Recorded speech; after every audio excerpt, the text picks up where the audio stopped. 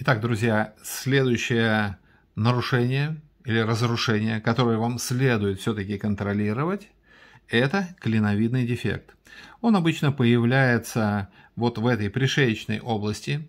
Он выглядит иначе, чем кариес. Если кариес, при кариесе здесь все коричневое, то здесь ну, в худшем случае может быть, конечно, покрыто э, пищевыми красителями, но чаще всего это не видно. Иногда человек обнаруживает у себя клиновидный дефект, потому что вот есть некая такая кромка, за которую он зацепился ногтем. Вид сбоку такого нарушения примерно такой. Примерно вот так это выглядит.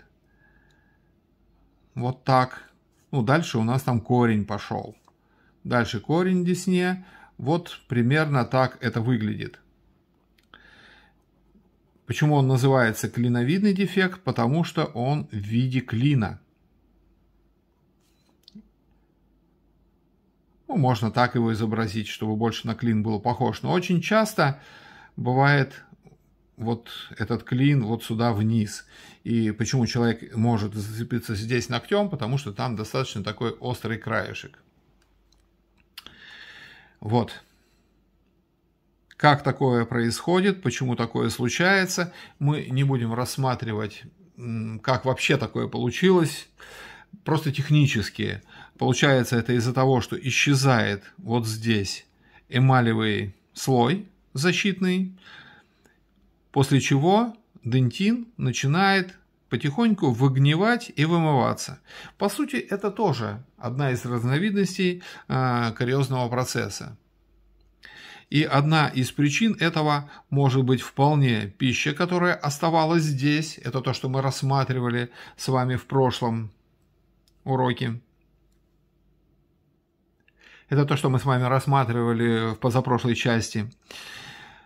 Если пища остается здесь, растворяется эмаль и, следовательно, начинает вымываться дентин. И он вымывается, у человека могут появляться в этой области чувствительность на сладкое, на холодное. Э, людям это не нравится, потому что при чистке зубов это место тоже может быть достаточно болезненным, или когда ногтем проводишь по этому месту, тоже может быть достаточно болезненным. Но у некоторых людей это проходит совершенно безболезненно и незаметно. Иногда человек живет и даже не замечает, что у него такой процесс здесь идет. И обычно он идет, не останавливаясь, а внутри здесь у нас нерв находится, и он идет так в сторону нерва, и, в общем, ничего хорошего в этой ситуации нет. Что можно сделать в этом случае? Чтобы это избежать, опять же, а, отсылаю вас к позапрошлому уроку. Я там рассказал, какие гигиенические средства и как их осуществлять, чтобы убирать отсюда пищевой остаток, чтобы вот эта часть эмали а, не была под таким ударом.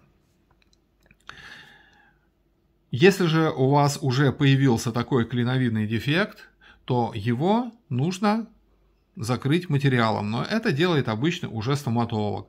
Он здесь аккуратненько все чистит, накладывает материал и, следовательно, а, потом вы ходите с закрытым этим пораженным местом, но разрушение дальнейшего не идет.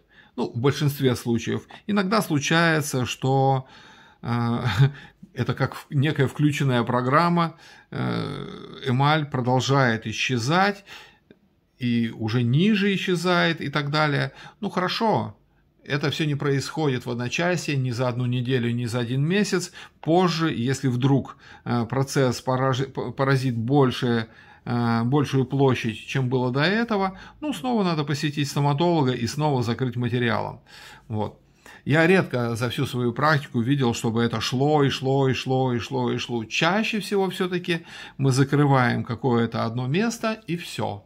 И на этом все останавливается, и дальше уже процесса разрушения не происходит.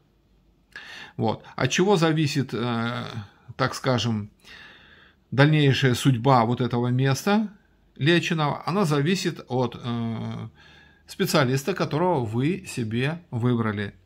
Если вы выбрали правильно, у вас это все будет хорошо, как можно максимально дольше держаться, будет качественно, выглядеть э, хорошо будет. Вот. Если вы ошиблись в выборе, то то э, со всеми вытекающими последствиями. Поэтому вы всегда можете посмотреть на отдаленные результаты. Если они вас не, не будут удовлетворять, вы можете поменять специалиста, потому что здесь имеет значение все. От момента обработки кариозной полости вот этой а, для качественного закрытия. И продолжая подбором правильного материала и продолжая правильной шлифовкой и, в общем, полировочкой этого места. Вот, друзья, это еще одно разрушение, которое может настигнуть передние зубы, поэтому э, используйте эту информацию. И все-таки отсылаю вас к гигиене, чтобы избежать подобных вещей – прямо сегодня начинайте хорошо, качественно очищать. А, хорошо и качественно это не значит с грубо, силой, жестокостью. Вот этого делать как раз нельзя, потому что здесь край эмали, который должен заходить немножко под десну, и если вы грубо чистите зубы, то край десны начинает приподниматься, и он поднимается выше этого края эмали, и здесь обнажается, можно сказать, дентин. Он там покрыт еще тонким слоем природного цемента, но все это уничтожается, и тогда клиновидный дефект просто начинается отсюда. Ну, а потом он просто расширяется, расширяется. Вот те моменты, когда ногтем особенно цепляешь здесь за край эмали, чаще всего это и есть вот этот момент, когда десна поднялась, и разрушение э, пошло э, выше того уровня, где ну, находится край эмали. Поэтому эмаль еще прочная, она острая, и за него как раз за этот край и цепляются люди. Но бывают и другие ситуации, когда никакой ноготь не цепляется. Это вот э, ситуации, когда разрушение, вымывание минералов происходит ниже. На самом деле, друзья, здесь происходит просто размягчение и вымывание минералов. Вот. вот эту ситуацию нужно избежать, поэтому ваша правильная гигиена имеет значение. Здесь не свалишь все уже на пасту и на щетку, потому что э, выбираете пасту и щетку вы, выбираете силу давления опять-таки вы, и лучше всего понимать, к чему приводят, а, к чему приводит каждый ваш выбор. Итак, успехов, увидимся на следующей части.